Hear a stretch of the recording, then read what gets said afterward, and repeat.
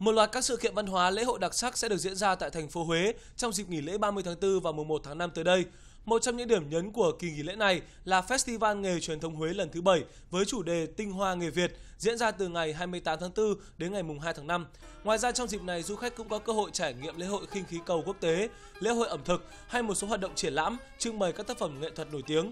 Đặc biệt, đây cũng là khoảng thời gian lý tưởng để chiêm ngưỡng cảnh sắc lung linh huyền ảo hay các nghi thức cung đình ấn tượng của một đại nội Huế về đêm.